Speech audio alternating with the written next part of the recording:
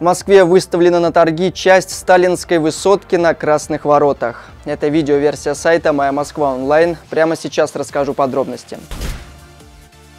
Интерфакс со ссылкой на пресс-службу Департамента Москвы по конкурентной политике сообщает, что право аренды пяти помещений в сталинской высотке на Красных Воротах выставлено на городской аукцион.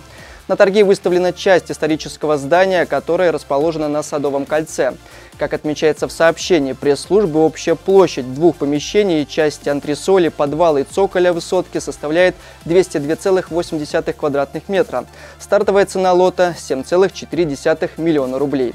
Руководитель департамента Иван Щербаков подчеркнул, что победитель аукциона сможет реализовать бизнес в совершенно разных сферах. Договор будет заключен на 5 лет. Также новому арендатору необходимо будет провести работы по сохранению здания, так как высотка является объектом культурного наследия. На этом у меня все. Следите за новостями столицы не только на сайте mymsk.online. Всего доброго!